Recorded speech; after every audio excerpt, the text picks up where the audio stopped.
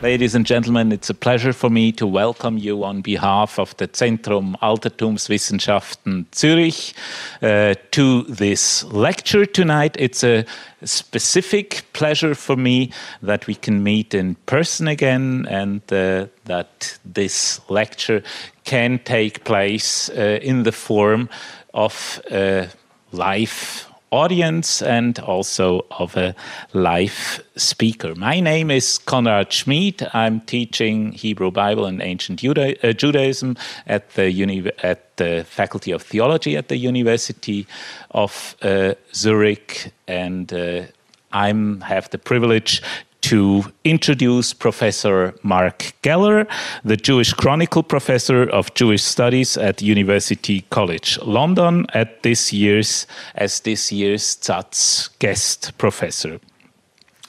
It's neither uh, easy nor fun to travel these days, so we are all the more grateful that your wife, Professor Florentina Badalanova Geller, and you were able to make your way to Zurich yesterday, and we are very glad that the two of you will be with us for the next three days.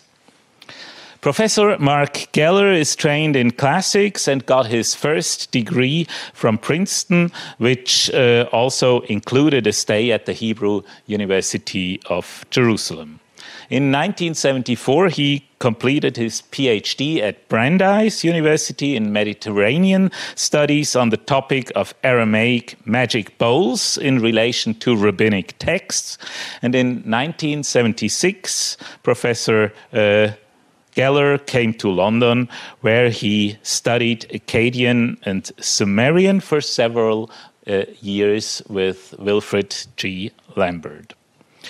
A few years later, in 1980, 1981, he was a Humboldt Fellow at the Ludwig Maximilians University in Munich at the Institute of Assyriology, Assyriology and Hittitology, where he worked with another most notable scholar in Assyriology, Dietz Otto Edzard. His topic there were Sumerian incantation texts that highlight and uh, continued his interest in ancient uh, magic and medicine. And since Munich, Professor Geller is a Humboldtian, and he was able to con continue his research in Germany throughout several stays in Berlin, Jena, and Leipzig.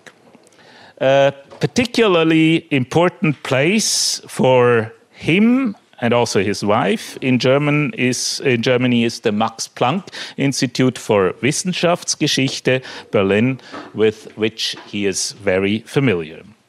Several research stays led them there in the past years. In 1994 and 1995, Professor Geller was a fellow of the Netherlands Institute of Advanced Studies in Wassenaar, a most fitting member of a research group on magic and religion in the ancient Near East. A second stay in Wassenaar in 2000 2001 was dedicated to work in a group of scholars dealing with Greek and Babylonian medicine. And in 2005 2006, he spent a year at the Collège de France and uh, in Paris, working with Jean Marie Durand. And the result of this stay was the book Ancient Babylonian Medicine Theory and Practice, which was published by Wiley and Blackwell in 2010. In 2013, he was awarded an ERC advanced grant on Babylonian medicine, a very prestigious project that uh, ran for five years. Professor Geller has been serving as director of the Institute of Jewish Studies at University College London, in which capacity he convened many conferences. Professor Geller's studies basically cover the whole period from some of the earliest cuneiform texts in Sumerian in the third millennium uh, BCE to the disappearance of cuneiform, which was as late as the 3rd century CE.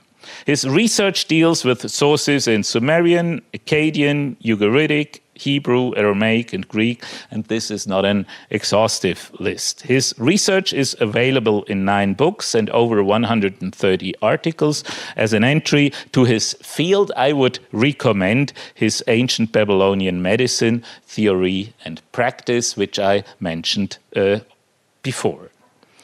Professor Geller holds a honorary degree from Sofia University, uh, Bulgaria, and in uh, 2018, he was honored by a Festschrift published by Brill entitled Mesopotamian Magic and Me Mesopotamian Medicine and Magic. Given this academic track record and his expertise in ancient Babylonian medicine, I think it was nearly unavoidable to try to convince Professor Geller to accept our invitation as uh, guest professor in the pandemic year of 2021.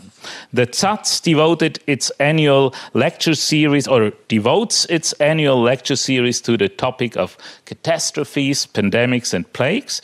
And we thought we'd like to include a prominent voice of someone in our uh, activities who is an expert in ancient medicine.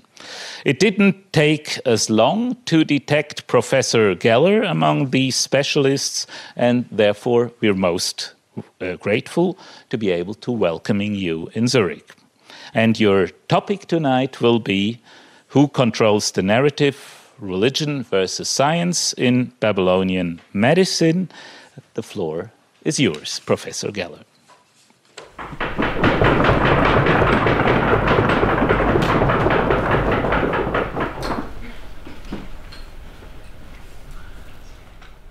Thank you very much, Favela. Thank you very much, Konrad, for this very. I always think when I hear these kind of introductions that you, someone must be talking about somebody else. But thank you very much. And it's a great pleasure, a great honor for me to be here this evening. And of course, uh, uh, wir können auch später in den Deutschen uh, unterhalten, aber bitte nur Hochdeutsch.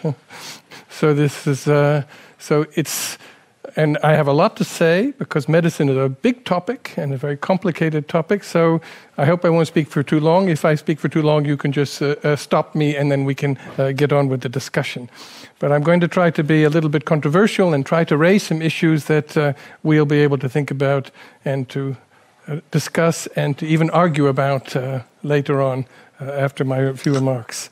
Now, the usual approach Oh, let me just make sure I can use this properly. Is this going? Yes.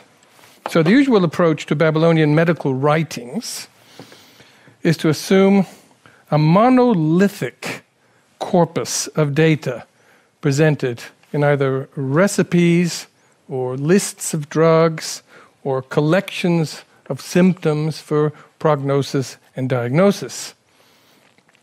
And these either belong to the cadre of the, of the official Asu physician or the Ashipu exorcist.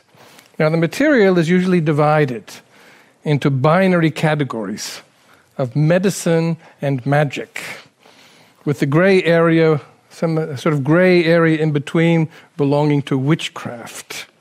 And this spans both genres. Huh? So, witchcraft has a little bit of medicine and a little bit of magic. Huh?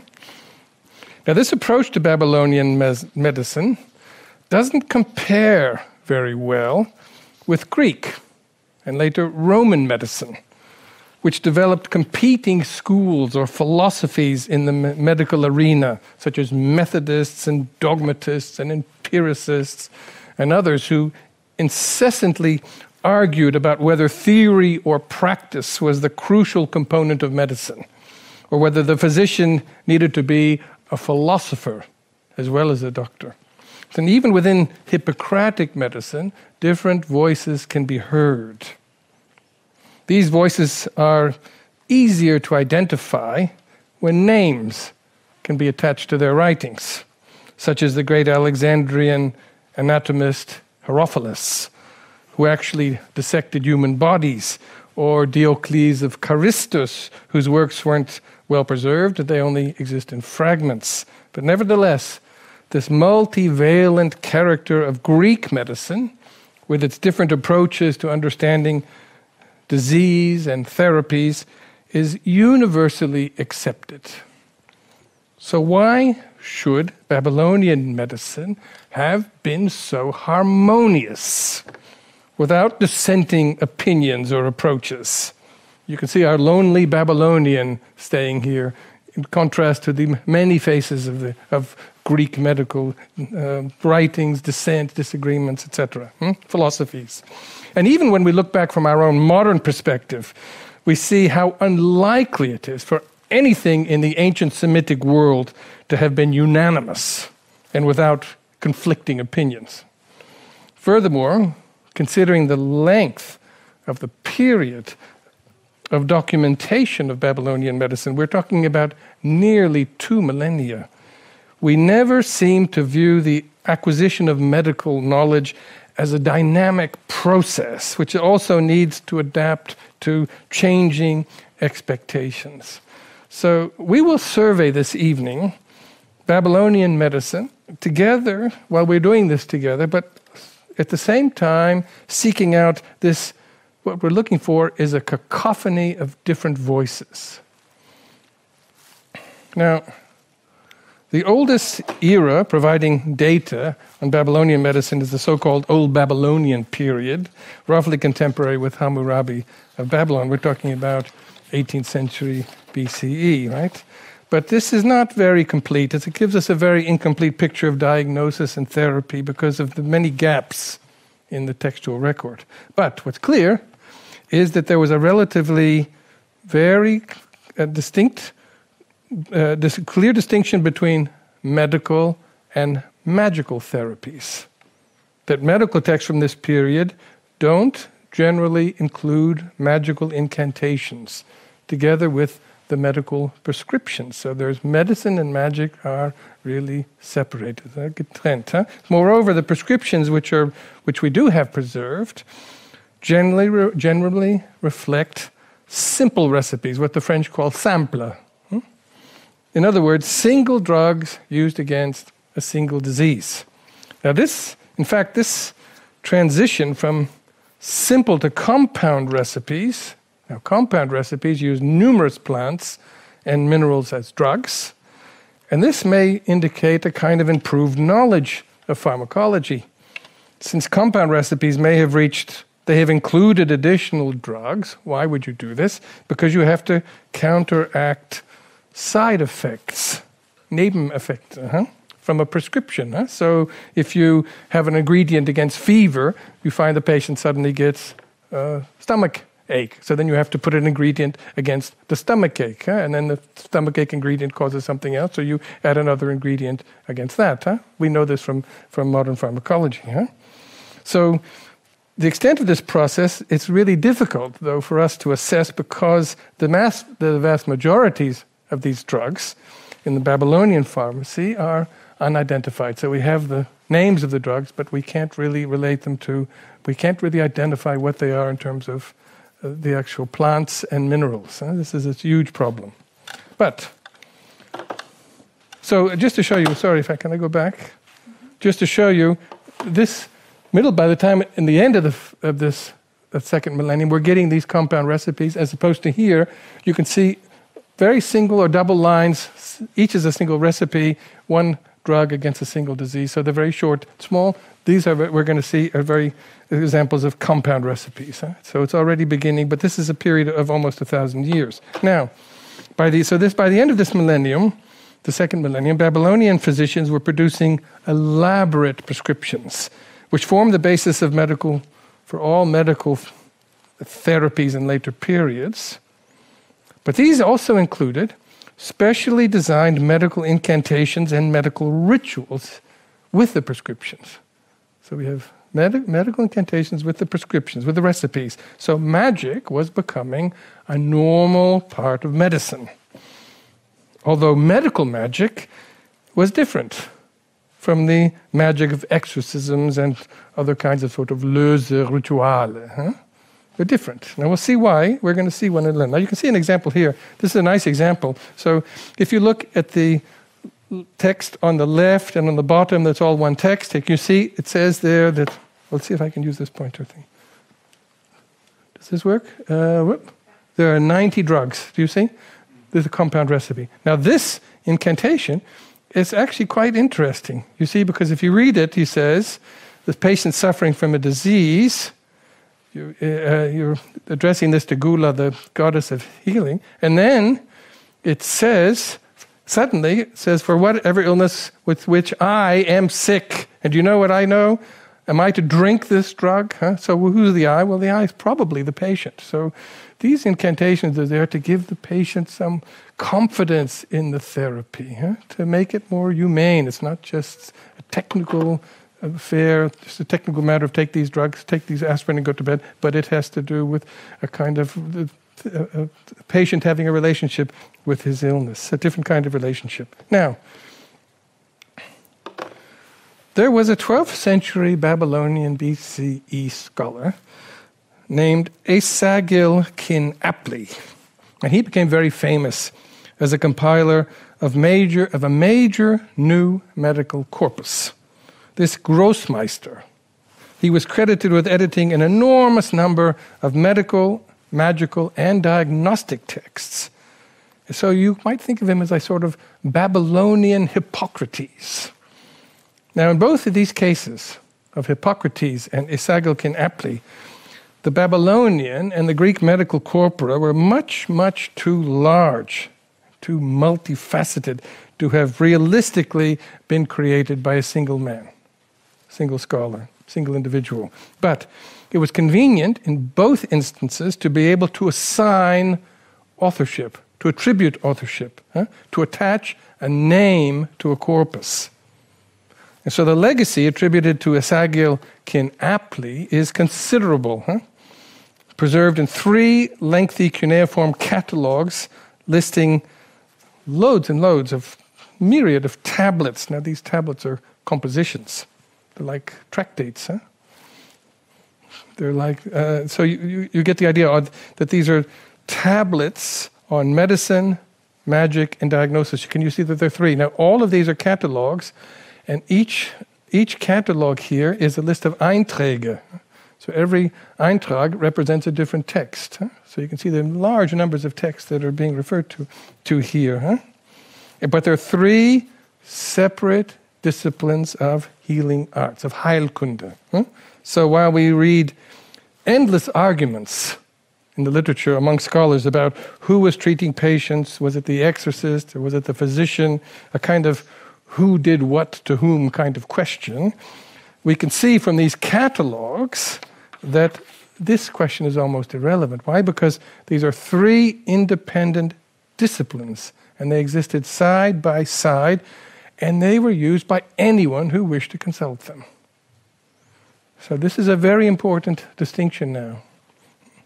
Now, in the 7th century BC, the Assyrian king Ashurbanipal the famous Ashurbanipal, assigned his cohort of expert scribes to create the standard editions of all medical and magical lore. So this is 400 years after Esagil Huh? And this was done within the framework of his Nineveh Royal Library. Hmm? But the colophons from this royal library indicate that this genre of medical texts didn't exist before in a traditional in a traditional form. They weren't just inheriting medicine uh, that was already very fixed and just copying it. They were creating new editions of medical text, even though they attributed them to Esagil kin Apli 400 years earlier. Now, his scribes, Ashurbanipal's scribes, were responsible for creating new standard editions which later influenced the archives in Babylon, Uruk, Sippar, Borsippa, all the other important sites and centers in Mesopotamia. However, this, within this enormous effort at standardizing all medical knowledge, we can still detect the presence of conflicting opinions and different approaches to therapy, and that's what we want to look at now. What are these conflicting opinions? Oops. Now, within the province of medicine proper. Now, we're excluding healing magic here. We're talking about medicine. This Ashur Medical Catalog, I showed you the picture of it before, it's the one in the middle. It's new, this was recently uh, put together by different fragments by the ERC team in Berlin a few years ago. This exists of some, of some 90 different treatises, tractate, with their opening lines or incipits, as I mentioned. These are titles of compositions. Now, it's astonishing to realize that this newly discovered list of 90 medical works was completed some two centuries before Hippocrates. Every textbook of ancient medicine says Hippocrates is the father of ancient medicine. This is two centuries before Hippocrates. 90 medical works recorded on this catalog. These are organized into two different categories. The first listing all treatises dealing with the diseases associated with parts of the anatomy. You can see, uh, starting head to foot, you can see cranium, eyes, ears, neck. This is how they organize them epigastrium, abdomen, kidney, rectum, legs, huh? feet, etc. And then turn the tablet to the, uh, to the reverse Second group of texts, these are general conditions, general syn- syndromes, medical syndromes of a more universal nature. So, dermatology, um, wounds, a feeling of being affected by divine anger, anxiety. This also includes stroke, paralysis, worry, impotence, gynecology, and veterinary medicine. So, these are very different kinds of the obverse and the reverse have very different kinds of, of treatises. Hmm? Now, this is not really, by modern standards, we can't say this is a taxonomy of disease, but it does show a general pattern of distinguishing between anatomical and non anatomical diseases and conditions. This is a major way that ancient medicine treats disease. Is it associated with a specific part of the body or not? Now, the medical treatments are complex. They're utilizing a large repertoire, hundreds of organic and non organic compounds, numerous forms of manipulating the ingredients in preparation for administering them. Huh? Various methods huh? you can use. You can swallow them, you can drink them, you can have clysters uh, through the rectum, bandages, massage, fumigation, all different ways. Huh? Now, uh, we even have a little bit on surgery, but that's probably Aderlass. Huh? opening of the veins, huh? but that's pretty rare, not much surgery. Now, question is how does this compare with the Hippocratic corpus in general? Can we make any general comparisons with it? It turns out to be three major differences. So, number one, Babylonian medicine lacks any discussion of medical theory. Now, that doesn't mean they didn't have medical theory, but they don't discuss medical theory. So they don't ever discuss a theory of bodily humors, for instance. Huh? Or they don't discuss principle of opposites, cold versus hot, dry versus wet, dry versus moist, etc. Huh? This is this is what we find in Greek medicine. We don't find discussions of these, no, and that's part of the reasons because Babylonian medicine didn't didn't write about theory. It wasn't a literary genre. Huh? And so it means theory was rather implicit rather than ex- explicit. Hmm? And there was certainly room for conflicting theories. Second thing is that Babylonian recipes, they incorporate a fair amount of what we usually consider to be magic, as I mentioned earlier, incantations and rituals. But these medical incantations, as I mentioned, as we'll see in a minute, differ very much from the exorcistic incantations of the Sumerian and Akkadian magical corpus. And three, prognosis and diagnosis were formal tasks of the exorcist priest, not the doctor. And a lengthy compendium of diagnostic omens, called symptoms, called the Diagnostic Handbook, what we will talk about in a minute, was attributed to a special exorcist, but not the physician. Hmm? So that's one of the, these are three general major differences with Greek. Now, let's go to this diagnostic handbook. It contains about 15,000 diagnostic omens, all collected on tablets, series of tablets. This, it is collected into a single compendium, and it's one of the three categories that I showed you from Esagil Kin Apli. So this is the discipline of diagnosis based on symptoms. Now, an excellent there's an excellent German study, incidentally, of this diagnostic handbook published in 2000 by Nils Heessel, and we're going to hear from Nils Heessel again in a few minutes. But one thing is very unexpected. The descriptions of the symptoms in the medical recipes often differ from the symptoms in the diagnostic omens. Now, this is rather strange because you think if you're a doctor and you want to note the symptoms of a patient, you just look it up in the diagnostic handbook and you make a note. But the symptom descriptions are not the same between the recipes and these collections of medical omens.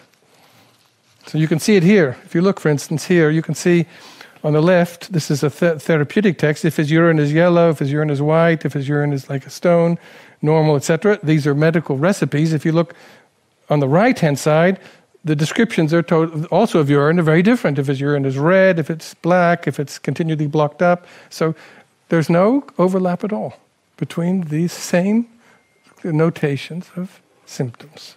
And that's very strange. For us, that's very strange. Now, the binary opposition of magic and medicine within Babylonian Heilkunde has never really been properly resolved. What's going on here? Is it some people believe it's really just two sides of the same coin? Magic and medicine are sort of complementary, it's more or less it's the same. Other people say, no, no, these are radically different approaches to therapy. But one thing that we can all agree with, I think, that magic and medicine in Mesopotamia were it was in some respects complementary, eh, because any theory of medicine has to take magic into account. And that's, that's the important point here. Hmm? But the problem is what is magic? It covers a very broad spectrum of activity and belief. Huh? And much of this doesn't have very much to do with healing arts. So a lot of magic has nothing to do with healing at all. Hmm? Uh, but there's a large part of it that certainly does. Now, so one of the key issues in studies of Babylonian medicine is very important uh, here, of course, in, also in Zurich, is to the extent, what extent the gods and religion in general, what kind of role they had to play within diagnosis and therapy. Now, there are a lot of different opinions in regard to this, whether the gods were perceived as playing a decisive role in determining outcomes or not, huh? or whether Babylonian medicine had developed a somewhat more secular approach to therapy, which it didn't contradict belief in the gods, but at the same time, it didn't rely upon the gods, upon divine assistance as a factor in identifying and treating disease. There's a big difference here. So it's not atheism we're talking about. We're just talking about the fact of do you attribute the causes of disease to gods or not? It's a crucial point here. Now, this is a point of contention between scholars. Huh? And this point of contention often revolves around a single expression that's commonly encountered in medical texts that a particular disease was associated with the hand of a god. And here our friend Nils Heessel appears again because he's probably the most outspoken proponent of the idea of the hand of the God is really the divine causal agent of an illness. These are his words. Hmm? Usually instigated by the patient having broken a taboo, either intentionally or accidentally. Therefore, hand of the God represents the personal interest of the God in this patient, huh? in his illness. So for Heessel, this information, in his worldview, the basic meaning of hand of a God, this phrase was essentially religious. That the patient's disease resulted from the personal interventions rather than from natural causes. However, while Heessel has offered seemingly convincing explanation based on a very literal reading of the text, of the data. There's another way of examining the same evidence which reaches very different conclusions. My own detailed counter argument, laying out the case for a non religious interpretation of the hand of a deity, ghost, or demon, it remains unanswered, so I think I'm fair, it's fair enough for me to talk about it here this evening. The main thesis against personal involvement of the deity was that the hand of a god formulation was typical of omens and divination texts, which freely associated events with gods, with divine activity. But omens were never intended to identify causality. This is what Francesca Rochberg had pointed out. You can see her here on the slide. That Babylonian science wasn't oriented, or say Wissenschaften in general, wasn't, this wasn't oriented towards causation or causes, but it operated by associating events in this logic of if P, then Q. If P occurs, then Q may occur. So these are associated, it's an associated relationship, it's not a causative relationship. So the description of symptoms of a hand of a god, it's not intended to identify the causation of the disease, cause of the disease, but simply that the disease, not the patient, the disease has some kind of association with a particular deity or demon or ghost. So, the medical diagnostic, this diagnostic handbook, it's interesting because it employs the methodology of omens, of divination, not medicine. This long list of 15,000 symptoms. Huh? And we know this because the first two chapters of this diagnostic handbook resemble the omens of everyday life. There's a special compendium called Shumma Alu omens, terrestrial omens. These are omens about what can anything that can happen in everyday life, and they're omens for what how it's going to affect you. Now, in these tablets, in these two opening tablets of the diagnostic textbook, we find things like if the healer encountered a pig or a brick or a pregnant woman en route while he's going off to see the patient to give his diagnosis, this will indicate that the patient will probably die. Now, why is that? Well, it's probably one comes and one goes. If you see a pregnant woman, that's probably a sign that someone's coming, so your patient is probably then on the way out. So it makes, there's a sort of logic here. But this diagnostic handbook with its impressive 15,000 entries wasn't, this is the mistake that many people make. It was not describing the symptoms of individual patients, but these were symptoms associated with diseases. We don't know how many patients would have been suffering from this particular symptom of the disease. Could be 50 patients for every entry. We don't know. Huh? They're not about individual patients. That's important. So, if this is the case, that it's not about individual patients but about disease, then the hand of the God can't really refer to the God taking an interest in an individual patient because these symptoms aren't about individual patients, they're about disease. So, this, I think, is really but we do find, however, I'll give you one example though. Oh, yes, there's one, there are some cases even where the hand of a god disease can develop into another disease. So you can start off with, uh, you can start off with a stroke and you can end up with epilepsy, something like this. Huh? diseases can merge. So, so these are all technical matters of disease that don't really have anything to do with the personal interests of, of the gods. Huh? And even here, you see at the end, the bottom, something else I wanted to show you. You can see here that you have one, cha- one tablet, 33rd tablet of this diagnostic textbook, has a list of hand of the gods on one column and technical names for diseases on the other column. And I think that's because people were wanted more they, they were having expectations for more technical medicine. They wanted the diseases not just to be known as hand of a particular god, they wanted to have a technical name for this, for uh, a specific disease. So, so let's, but there's more to this story. So we need to explore this rationale behind this if P then Q type of logic in these diagnostic omens. And there's an underlying supposition in my argument that if we can find rational explanations for associating disease symptoms with certain gods or demons or ghosts, this weakens the argument for a deity or a demon's personal involvement or intervention in the patient's suffering or therapy. So let's see if we can find this. So, one of the ways of explaining this hand of the ghost or a god or a demon can be understood in an environment of infectious diseases or epidemics, or as we call it today, pandemics, like COVID 19, for which there were no effective countermeasures beyond strict hygiene and even quarantine. Doesn't that sound familiar? Huh? Wash your hands and keep two meters away from everyone. Huh? This was really the recipes, these were the instructions of the ancient world as well.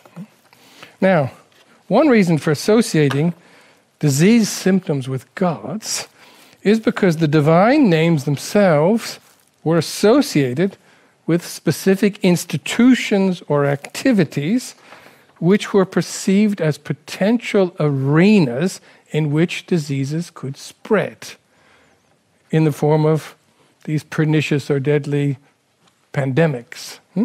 So, one example is the goddess Ishtar, for instance. Huh?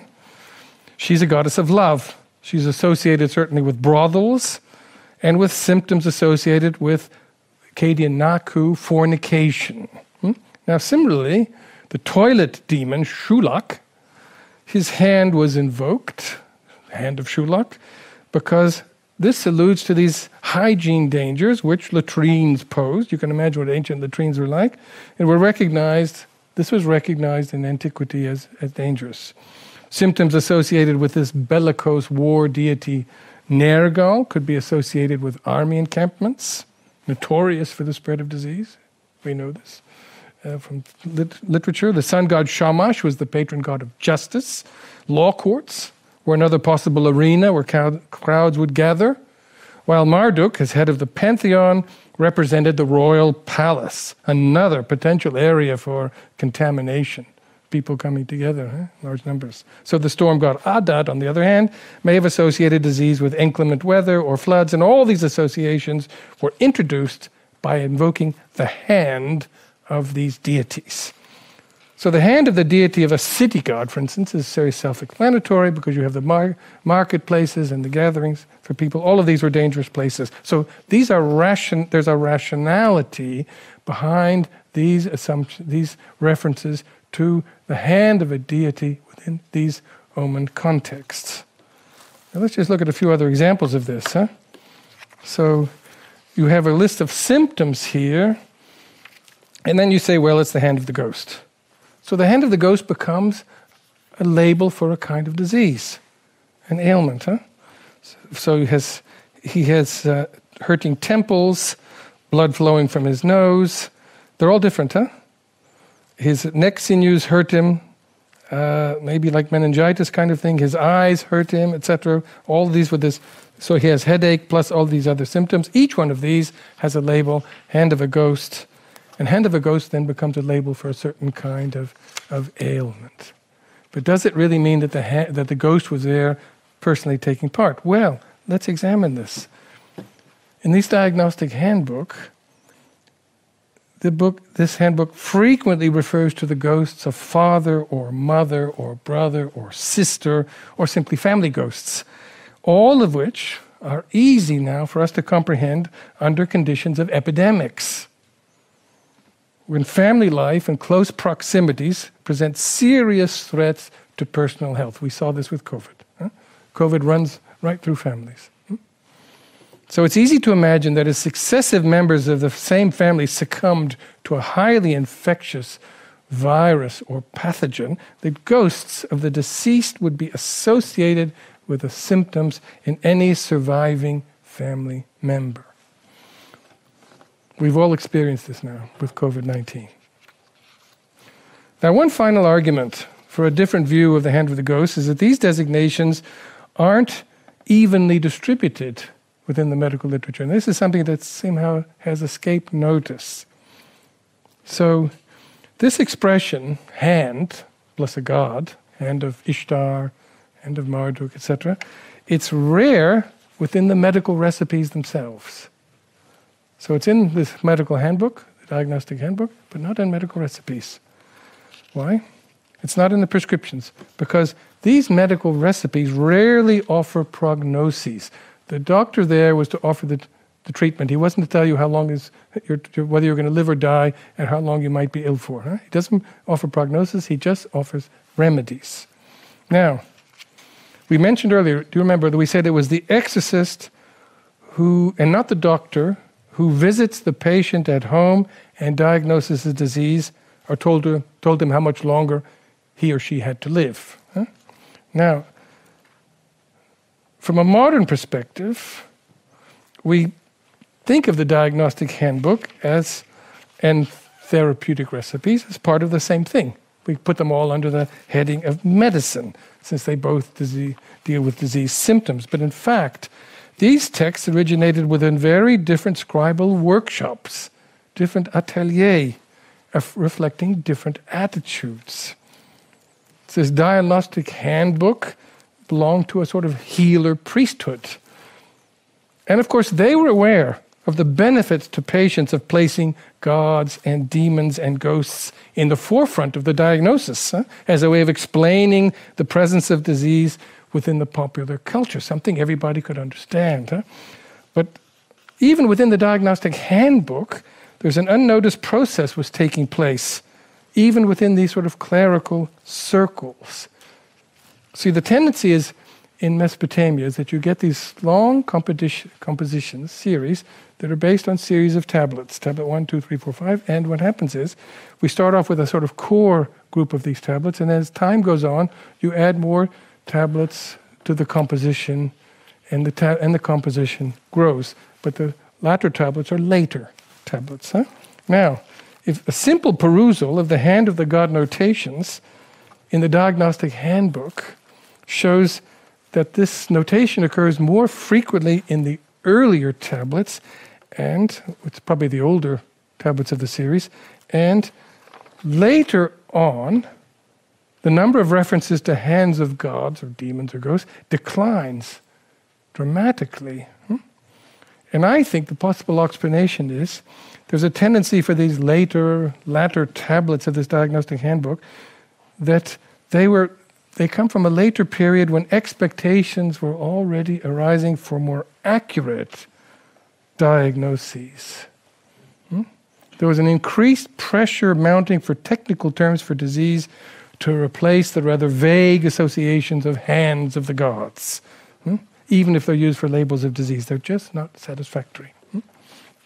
Nevertheless, this doesn't mean that we should discount or ignore those passages which refer to the hand of a god or hand of a ghost or hand of a demon, since it's probable that many exorcists and maybe even physicians, even in later periods, preferred to remain with this traditional designation of disease as having a more religious orientation. This may also reflect the fact that technical disease names are often difficult for an average person to understand. As mentioned above, it's important to register and give credit to dissenting voices. Hmm? That's what we're looking for here. Now, is that all right? I, okay, so I, I, I, still have a bit more things to tell you, should, but I'm all right for time? Yeah, it's True? Really, just ignore it. It's just. Uh, so.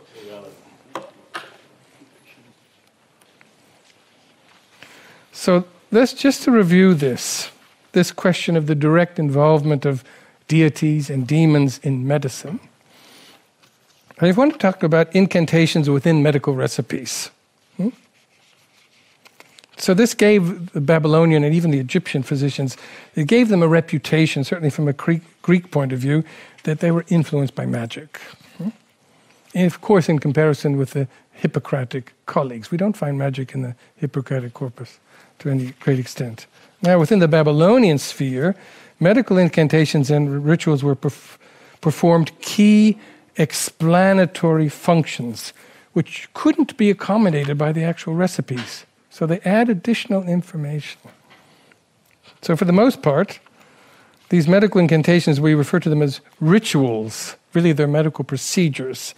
They offered etiologies of disease in order to attempt to explain the origins and the characteristics of illnesses.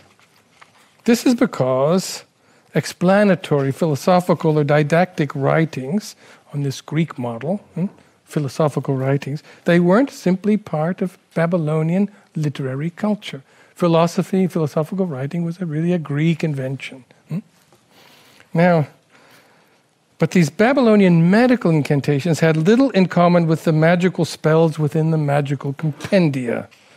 These, these other magical texts, you adjure demons and ghosts, and you direct prayer like appeals to deities. That's really classic magic. That's not what we find in the medical corpus. These medical incantations also don't allude to this very famous conversation called the Marduk Ea formula, where Marduk, the god, goes to his father Ea and says, I notice something wrong with this pa- patient, and what, what can I do for him? Uh, this, this is all pure magic. And Ea says, Well, actually, I don't know more than you know, but if, since you ask me, I suggest you do this. And uh, this, this becomes the ritual in the magical incantation. Of course, for the patient, this is very reassuring. He doesn't just get an incantation or a ritual that's created by the incantation priest, but it comes right from the gods on high. So it's a very, and you don't find this in our medical incantations. Not, there are a couple of exceptions, but almost uh, it's very rare. Now, there's an example of a medical incantation. I've given it to you. It's very difficult to decipher. It's in a recipe for stomach disorders. And the surface of this is that it appears to be, it appears to refer to the goddess Zarpanitu, Zarpanitu, who's the spouse of Marduk, and to the god Enlil. But neither of these gods has any associations with stomach illness, so why would they be mentioned in this medical incantation? Now, it turns out that these allusions to these major gods they turn out to be a sort of double entendre huh, on stomach, stomach pains and stomach ailments huh, because they refer to wind or, or flatulence. Huh? Yes, a sort of burning sensation or heartburn, huh? Bauchschmerzen. So the difficulty, it's a very picturesque text.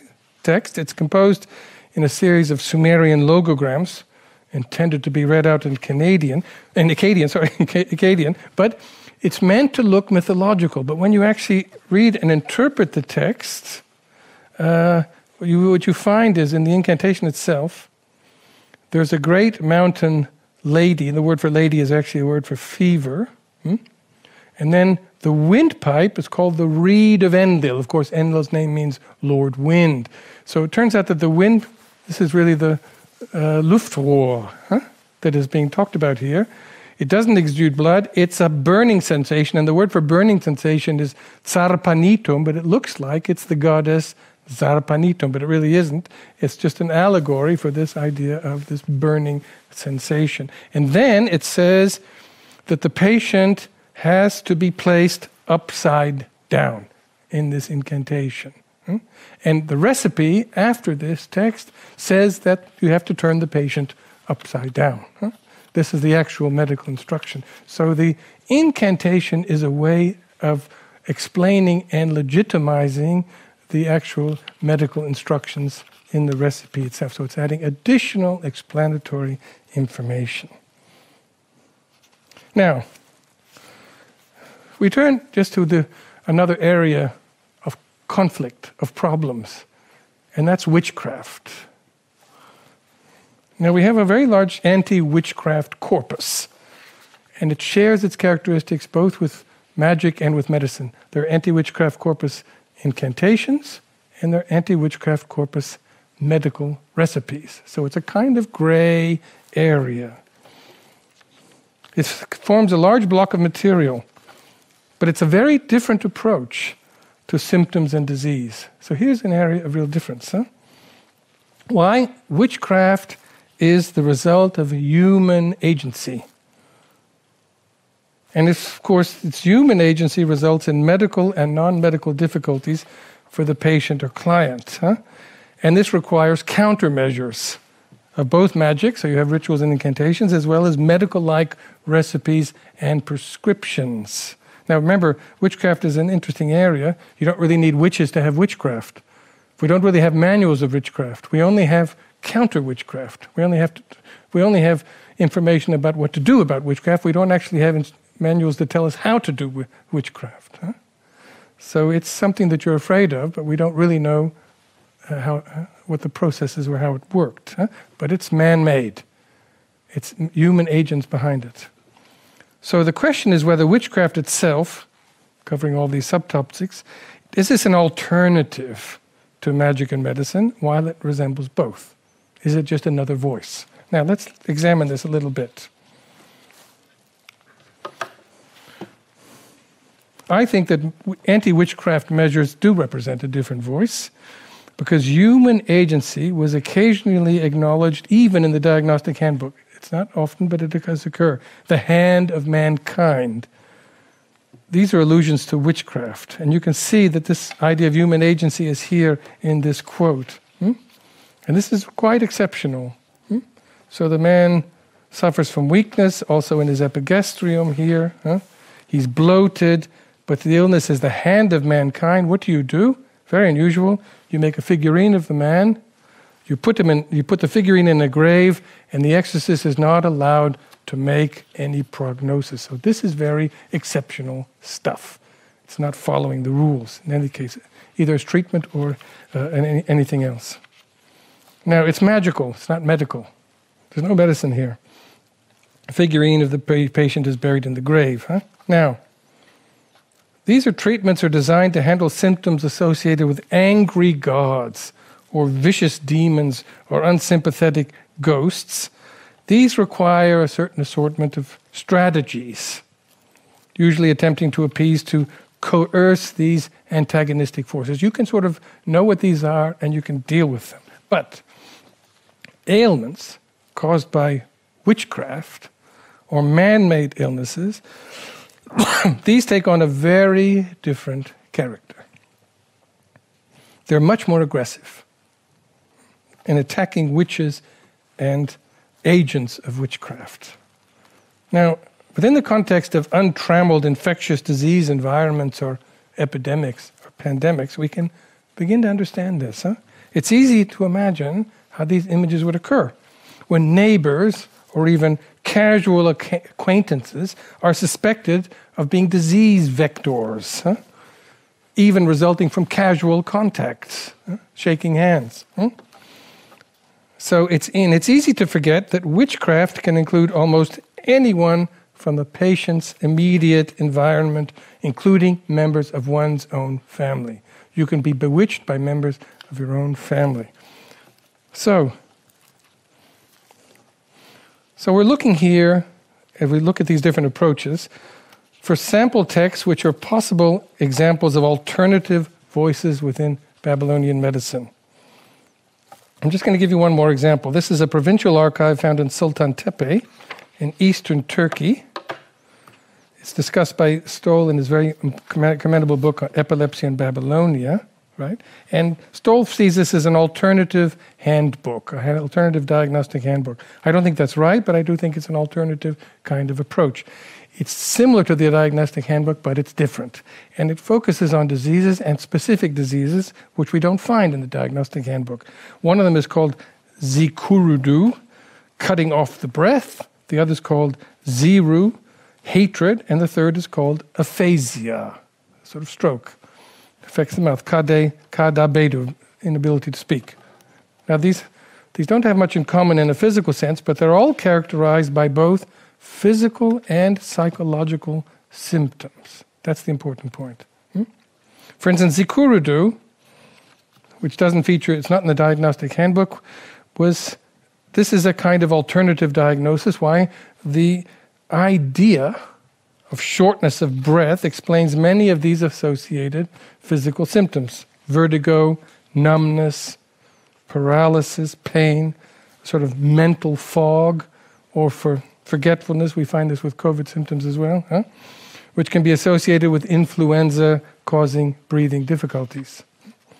So the idea of breath being cut off has these psychological dimensions as well. Now, the alternative series, this one, also refers to a condition, this condition known as hatred, ziru. It's also manifested in physical and psychological symptoms, fever, impotence. But it's not, present, not in, the, in the standard medical prescriptions. And the same is with this kadabedu, this kind of stroke, epilepsy, seizure kind of illness. Huh? And these illnesses are all associated with witchcraft in other contexts. And that's the important point. They are associated with human activity. Since this, these prescriptions in this alternative corpus always refer to what we call ipshu epshushu, sorcery has been performed against this patient. And that's the context for the illness. So there's no room for doubt here that a physical and psychic illness can be directly caused by human agency, which places these prescriptions into a very different category of diagnosis than normally encountered in the medical corpus. Now, is this an alternative approach? I think it is. And I think we can understand the issue here a bit better now that we've had two years of experience with COVID 19. The idea of other humans causing disease becoming a critical issue, it's obvious today. When we see or we read about people refusing to wear face masks in crowded areas or refusing to be vaccinated. Huh? So they potentially become vectors of disease for everyone else. So, how does one deal with this kind of situation? It's actually more difficult to deal with human agency than divine agency. So, one strategy is to brand all of this kind of human agency as witchcraft, as a way of identifying and isolating the problem, as well as labeling it as dangerous to everyone else. So, calling people anti vaxxers and not allowing them to go to work or discos or football matches, this is somewhat follows this same kind of practice. And I think we can understand it with our experience of the last couple of years. So, these, what I'm trying to describe, are alternative approaches to healing. These activities. So, I just want to come to one final point, and that's this who controls the narratives? You know, in later periods of medicine, during the Middle Ages, medicine was dominated by what the Cambridge scholar Roger French referred to as rational and learned scholars who controlled the knowledge of medicine as well as its application. They controlled learning medicine, teaching medicine, applying medicine. Now, they were competing, though with others. There were other less conservative approaches to medicine, not so reliant upon philosophy, because these learned and rational learned scholars had to be philosophers as well as physicians. So they were competing with other forms of medicine that weren't so concerned with philosophy, but concentrated instead on treatments. So the argument was that philosophy within medicine was all very well, but it didn't actually cure anybody. So this tension was a continuous feature of medieval medicine. But since there were very few technological advances separating late antique medicine and medieval medicine, in some ways these social patterns are comparable. We can see them looking back, and it becomes a useful model for us. So when these rational and learned scholars controlled the narrative, their own theories of course, based on philosophy, tended to dominate medicine. But so pet theories and these approaches to healing were widely accepted until, until they were challenged by crises, such as epidemics, which undermined confidence in all accepted theories and practices.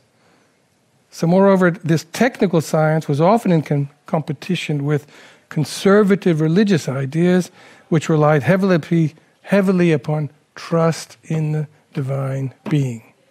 This is a situation, of course, which we recognized in Mesopotamia. Now, in this Mesopotamian context, the question of controlling the narrative may be more relevant than we usually imagine. Instead of a binary system of Ashiputu exorcism and Asutu medicine, exorcist versus doctor, a third discipline was clearly influencing approaches to medicine the office of an expert who visited the patient at home and made the prognosis and diagnosis. This third discipline may have been much more open to new ideas and concepts influenced by advances in astronomy and especially astrology, hmm, which produced alternative forms of diagnosis and even therapy. So this picture is still very opaque, and it's difficult to put into sharper focus.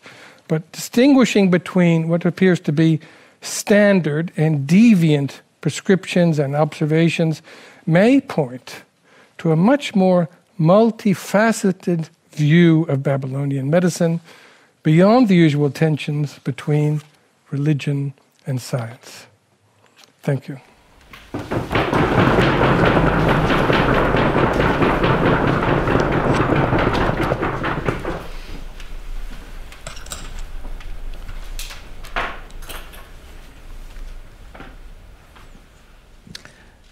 Thank you very much, Mark, for this very stimulating, topical, and timely talk.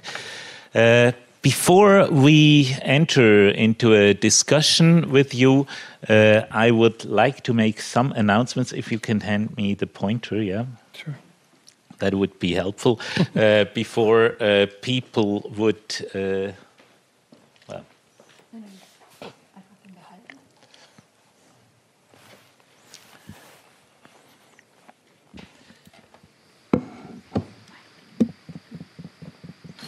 Yeah, uh, we will have another event first uh, tomorrow over uh, lunch or noon uh, seminar with Professor Florentina Badalanova Geller, Slavonic Apocalypse of Enoch, Second Enoch, and Qumran Scribal Heritage. This will take place at Kirchgasse 9, a building adjacent to the Grossmünster. You're very welcome, no registration uh, required. Will be a talk of about 50 minutes, and then we will have the possibility to get into a discussion with uh, Florentina Badalanova uh, Geller. And then uh, on Friday, starting at 14.00 uh, sharp, a workshop over one and a half days with uh, Professor Mark Geller on moral dimensions of treating contamination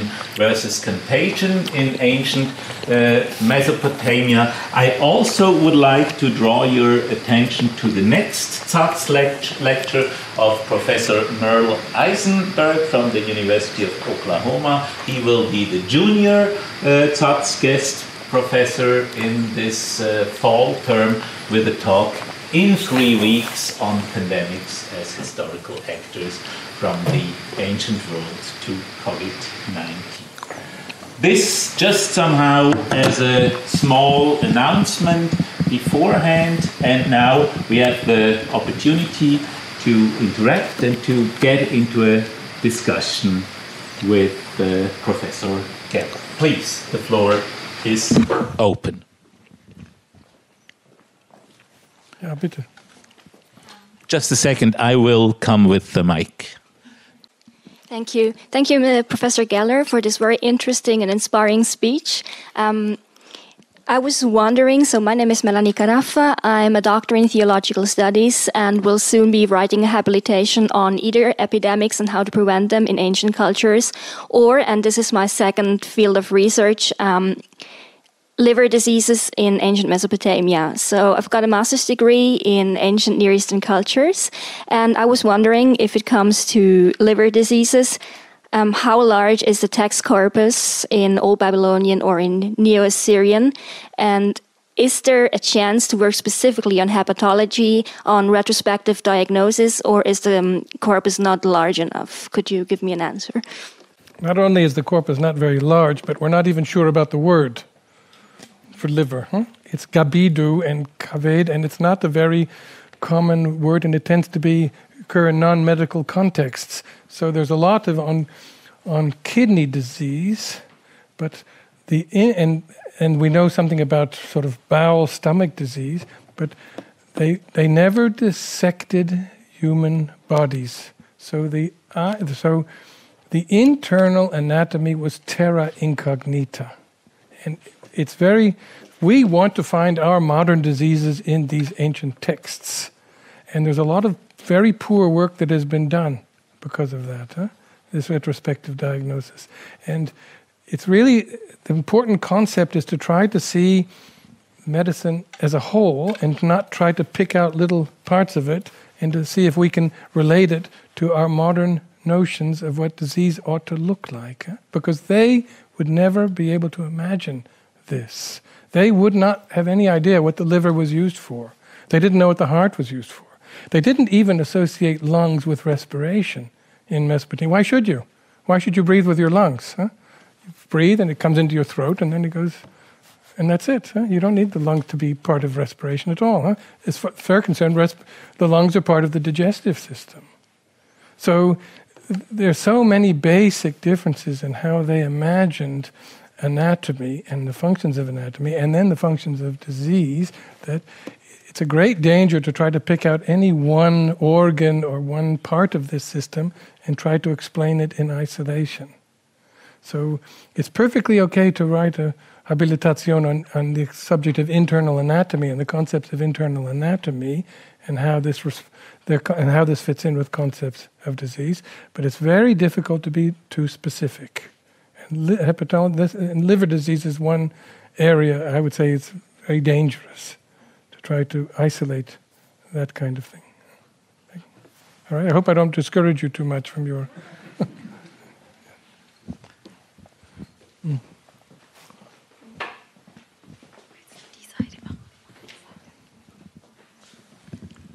Many, many thanks for this really very broad lecture with so many interesting perspectives. And of course, the, the main point uh, which you put in the foreground remains also very intriguing the question of medicine and magic always. And I mean, I was thinking when I was listening to your uh, paper in, in, many moments also at uh, Greek parallels in a way. Because, of course, we have the famous uh, beginning of the Iliad where you have Apollo, it's really the hand of God. I mean, he is actively intervening and, and uh, and uh, and then what is the reaction of the people? They have to find the ritual, how to overcome it, how to to soothe the, the wrath. And I think sometimes that uh, this sort of difference, it's the same with religion and magic in a way, and and then even more with med medicine and magic. It might be also a modern problem more than it is really an ancient problem in a way. Of course, it was already treated in the medical uh, realm, also in Hippocratic medicine. But if you are on an earlier uh, point, uh, you have probably also simply two levels of the same reality one reality, and I find it really intriguing the, the, the, the, examples if you gave that if his urine is yellow, then it's physically this reason which they give. And therefore, this would be sort of the natural observation that there is really a causal uh, relation between the two things. But at the same time, everybody in this period would have thought what is attributed to Thales that the world is full of gods.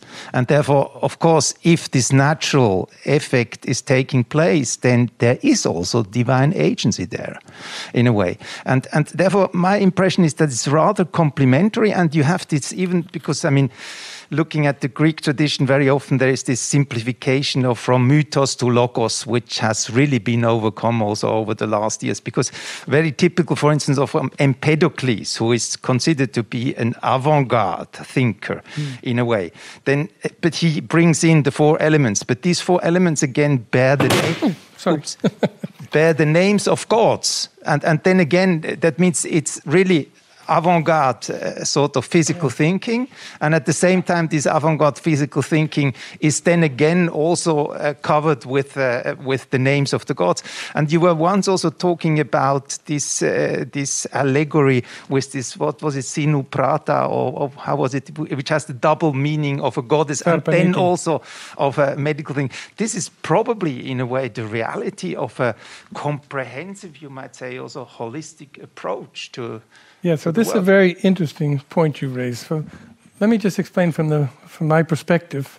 There are two things that are really important points. I think that is this: that my the generation of my teachers, for their perspective on Mesopotamia and the world in general, the ancient world, everything was religion. Everything was religious. So the gods were everywhere. They explain everything. Every every text has to do with religion. There was never the concept among the great my great teachers of Elio Oppenheim or Lambert or uh, uh, Gelb or any of these great uh, scholars of anything, the idea of secular science didn't exist in Mesopotamia. They never thought about it. There was astronomy, but that's for a few astronomers, that's a kind of niche. Huh? But basically speaking, everybody was thinking in terms of the religion. The gods are everywhere, the gods are interfering with everybody's life. Now, the reason why we have this perspective is because there's a basic confusion with two kinds of literature there's narrative and there's technical literature. Now, you take dream omens as a good example of this. So, we have lots of stories about dreams. Dreams is a wonderful technical advice in all kinds of narratives. Kings have dreams, dreams forecast what's going to happen. Pharaoh has dreams. This is seven years of good, good years and seven bad years. Everywhere in the literature, these are narratives, and everybody understands these as narratives. And of course, who brings these dreams? God brings these dreams. So, this is something that everybody, on the level of narrative, everybody can understand. Then we have a separate literature of dream omens what we call this dream book. Technical literature. If you dream this and this, if you dream you're urinating on plants, it's a good dream, it's a bad dream, something good will happen, something bad will happen. Huh? All kinds of things, bizarre things that appear in dreams. They have nothing to do with reality. It's the reality of dreams. But they also have nothing to do with the narratives. Because you know, when you have a dream, you have a long dream, huh? We'll talk about this uh, uh during one of the sessions. I'm going to, one of the sessions will be on dreams. You have a dream, you have a kind of story in your mind, you see a whole story. And then when you see these dream books, it's as if you dream about X or Y. It's very short, huh? a little motif. But this is technical literature. This is for the purpose of, of prognosis and diagnosis and trying to determine what's going to happen. So they're very different. And when we confuse them, then we get this this muddled idea. And I find this all the time among classicists that the classicists classicists talking about medicine, they always start off with Homer. Homer has nothing to do with medicine. It's not a medical work, it's a narrative. Of course, it refers to medicine. It can describe medicine. We know people are ill, they're wounded, they need healing, gods are there, all kinds of things. But this isn't, it's, it's not a medical textbook. It's not Hippocrates. Hippocrates is about technical handbook of healing. And we have to separate these genres and keep them separate because otherwise we confuse ourselves and we confuse the picture of the ancient world because there were two very different pictures. Everybody believed in both. Huh? You believe in the narratives, you believe the gods were there. Gods are, of course, taking interest in, in our affairs and interfering with our lives. At the same time, you can have technical medicine and technical magic which is there to offer relief from symptoms, from specific kinds of problems. Huh? Heilkunde, if you want to call it that. Huh? And that's a very different kind of thinking that tries to look at reasons for why things happen and what you can do about it without referring to the gods. Gods are there, you believe in them, but they're not, it's not part of what your object is. You see, this, so this is how I, I respond to this kind of situation. By separating them, we get a much clearer picture of the kind of textual information that we are receiving. And I think that's what's crucial here.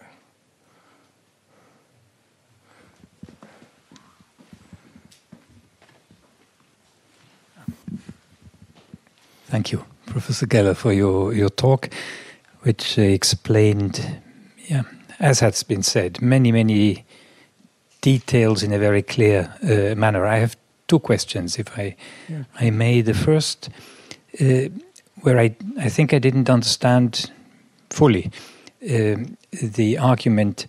Uh, it's, it has to do with causality versus association of events. Um, you introduced uh, Francesca Rochberg's yes. argument in one. Uh, I was too brief context. Yes. No, uh, I, I, don't think so. But when you were talking about witchcraft uh, and the hand of humankind, all of a sudden this hand seemed to have been considered as a causal uh, ah. instance, whereas the hand of the god was not.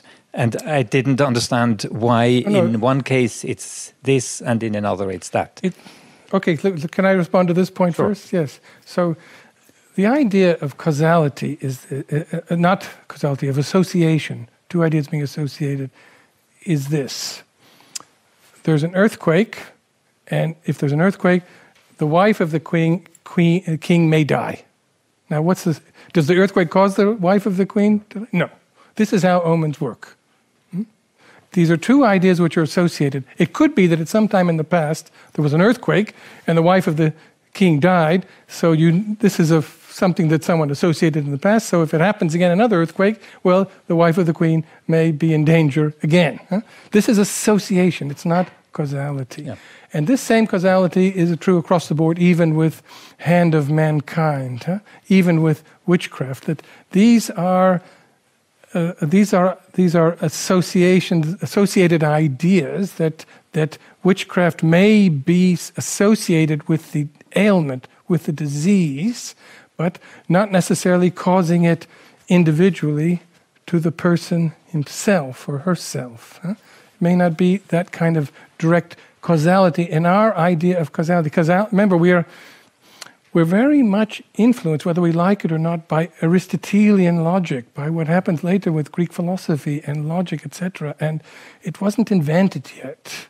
So this idea of association is really a much stronger concept in the in the in the Mesopotamian world. And once you get replaced by Aristotelian logic, we, our attitudes change. We see the world a bit differently. We, we reject associations. But association was really the most common way of thinking about the world in this pre, pre-Greek Orient. And so I think that even there with the hand of mankind, it's again, it's association, it's not direct causality. Because they didn't have this concept of causality. And Thank this is what she shows in her, what Rochberg shows. Yeah, this clarifies the matter, I think. Uh, the second question is from, uh, so to speak, a patient's perspective.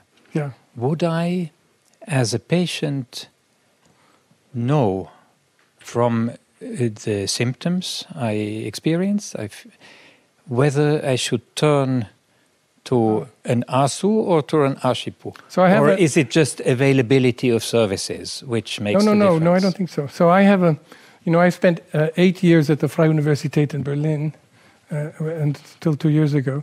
And I had a student, and still have a student in Berlin who's Iranian. And she comes from a rather southern part, south uh, eastern part of Iran, which she says they don't really consider us proper Muslims in this part of Iran. And she said, in every village in this part where I grew up, she said, there is a doctor and there is a healer and you go to both. You don't just trust one or the other. You you always you uh, normally situation is to go to both because each is going to offer you something that the other one can't offer you.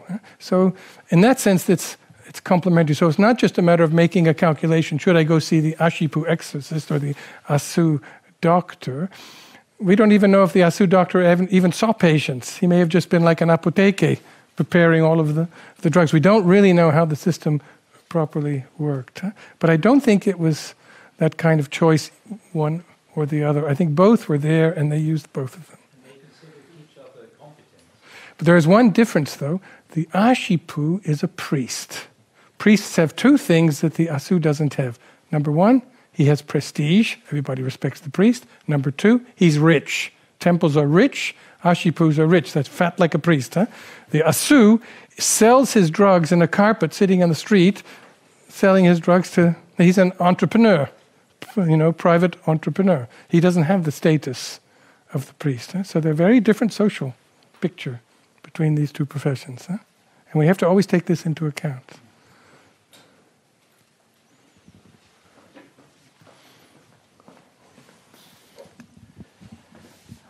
I am interested in these medical omina uh, that uh, are uh, phrased as a conditional clause, and the apodosis is he will die. Many of your examples simply included, uh, yes. yeah, the result he will die. Of course, I think every mortal uh, will die at uh, some point. This is apparently not in view, but he will die anytime soon. But what's the concept of medicine that is related to this prognosis? Is it somehow if uh, if something somehow leads or will lead to the secure result that someone will die, is this somehow to say uh, here our medicine, our medical expertise ends, no, or no, no. is limited, or is it uh, is it a statement about we know uh, we we can't do anything, and uh, it's yeah. it, it's just a, a prognosis uh, that that is safe and surely will lead to the death of the of the person diagnosed. So, so there are three different answers to your question. It's a very good question. The first answer is this it's, these texts are mistranslated. Because, as you know, in Semitic languages, the imperfect can be modal as well as indicative. So it doesn't necessarily mean he will die, it can mean he may die. He could die, he should die, huh? he might, might die. Huh? All of these are possible. Huh? And we translate very literally, he will die, but that's actually not a very good translation because omens really don't predict what will happen, they really predict what might happen. That's also part of this associative thinking. Huh? So, you know, we don't know is it will it rain tomorrow or might it rain tomorrow makes a big difference. Huh? So, so that's the first thing. On the other hand, you're right. Many more of these omens say he might die because you didn't we don't have these reports of the physician or the exorcist coming to the man's house when he just has a cold or a sore throat. These patients are usually critically ill. And it's the same thing in the Hippocratic Corpus. The Hippocratic Corpus talks about acute disease. The doctor comes when the patient is really dying. He's on his deathbed. And then he comes to give the prognosis. How much longer is he going to live? Well, he may, have three days and uh, maybe a week. Uh, so that's part of the fact that this is the context of when we have these texts that are describing diseases and acute cases of disease. So it's likely that the patient would die, should die. But there's another thing which is interesting, and that is this is only typical of the magical corpus, of this of the Ashipu. The Asu corpus, the medical corpus, at the end of the recipes, most of the time says the patient will get better. He's going to live. Huh? And it's exactly the same. He may live, or maybe get better, should get better. Huh? Could get better. This is, but this is, and, that, and it's not the formulation of the magical incantations. They don't say this. Eh? It's the recipes 80% of the time end with this formulation. So the recipes are much more optimistic than the incantations, and we don't know why that, why that is. But it's a really interesting difference between the two.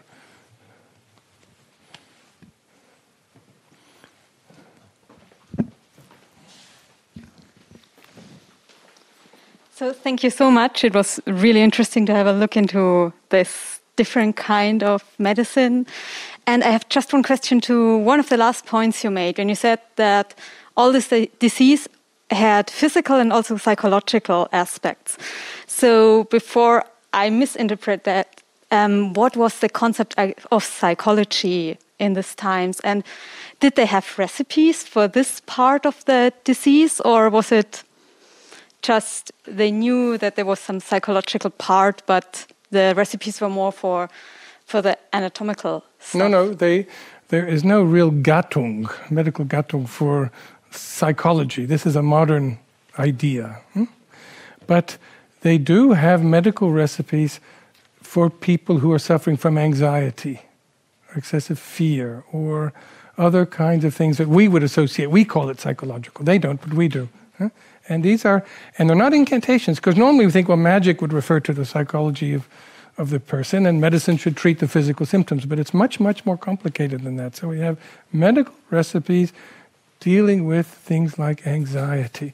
But the recipes are not the traditional medical recipes of grinding up some plants necessarily, and bring, but they're often, for instance, the radical recipes for anxieties will say you have to hang an amulet around the person's neck with certain kinds of amulet stones and exotic ingredients, and this will help them. We think, well, all right, that sounds very magical. But Galen makes the same kind of recommendations for his patients. Galen's hardly a magician, huh? Galen's really a, no question to Galen being a doctor. But he says in some cases you need to prescribe an amulet because it might help. The patient might feel better. Huh? So there was this basic understanding that some that when you're dealing with these kinds of problems that are manifest themselves as, as anxiety or other kinds of psychological impotence is another one.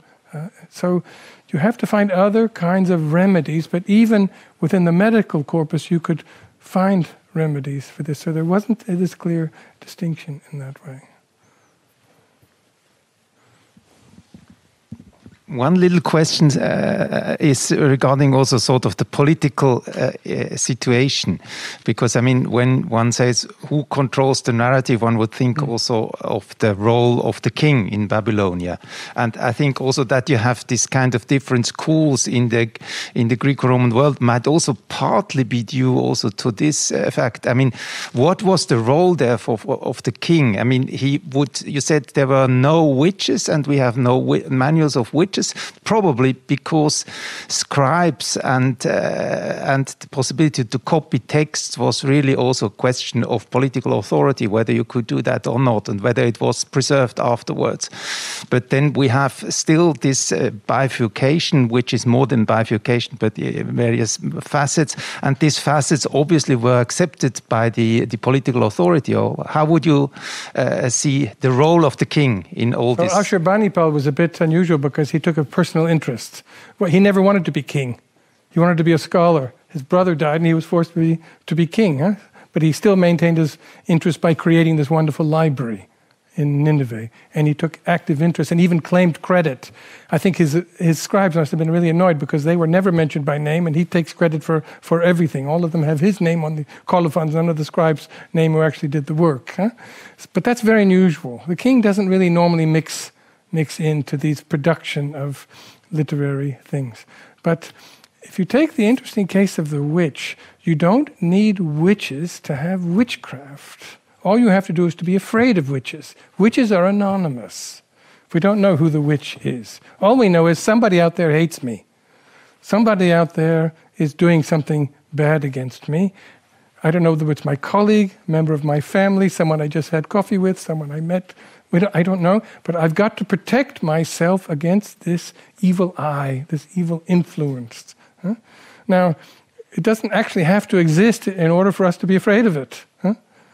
And, it's a, and it's a very highly developed system of describing what we would call, in modern terms, paranoia, perhaps. Huh? Anxieties, fears, but aimed at this is aimed at humans causing this, not gods, not demons. And it's easier to deal with demons. We know how to deal with demons. We have the incantations for demons. Dealing with witchcraft is really difficult because it could be anybody, someone we know, someone we don't know, and and it and we don't and it doesn't really have to exist except here, in order for it to be real. Huh?